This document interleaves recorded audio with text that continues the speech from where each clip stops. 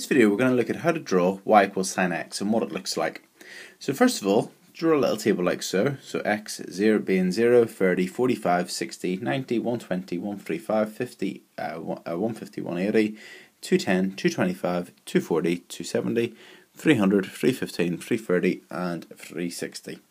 Um, I've chosen these uh, coordinates because whenever you work out the um, sines of these angles. Some of them give nice numbers and also other ones you're going to need to know anyway.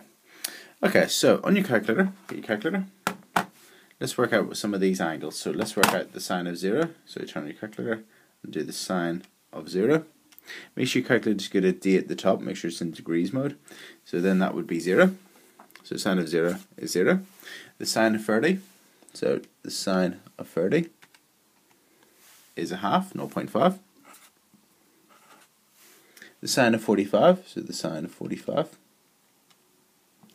which would be 0.7071 so on. Uh, we're just going to, uh, let's just do these to three decimal places, 0.707, and carry this on the whole way across to get all the values in the table.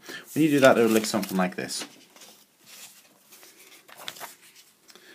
So you find that you get, whenever x is 0, uh, sine x is 0, whenever x is 30 degrees, uh, sine x is 0.5, 45 degrees, 0.707, so on, 60 degrees, 0.866, so on. Whenever it's 90 degrees, you get 1. Whenever you do 120, you actually get the same value as 60, you get 0.6, uh, or 0.866, so on. Whenever you do 135, you get the same answer as you did for 45 degrees, so 0.707.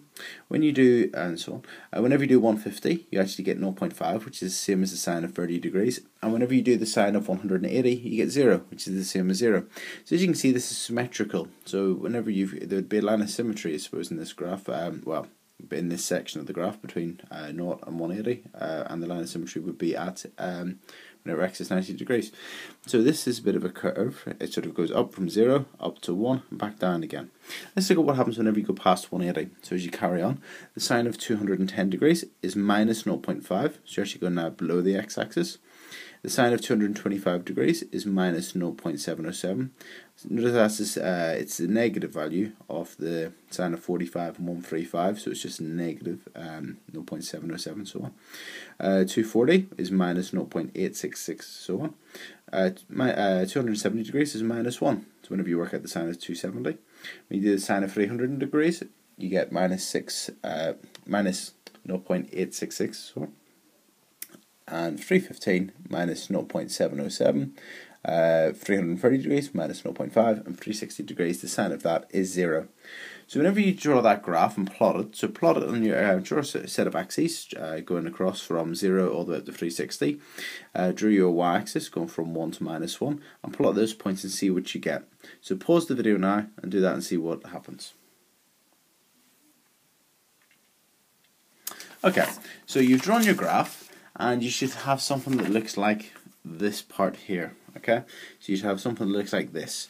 So it goes from 0 up to 1 at 90 degrees. So at 90 degrees it's 1 the sine of um, uh, 270 degrees is minus 1 so it looks something like this okay? So it's a curve that starts at 0 0 the origin goes up to 1 down to 180 degrees and 0 270 being minus 1 360 being 0 and so on. And this would, uh, this would repeat um, if you do the if you do the sine of the negative uh, angle, so the sine of minus thirty degrees, sine of, uh, of minus forty five, and so on, all the way across to sine of minus, uh, ninety degrees, you get that to be um, minus one, and so on. So what happens is this curve carries on forever, goes across like so and across like so, and it goes up between one and minus one. So that's the graph y equals sine x.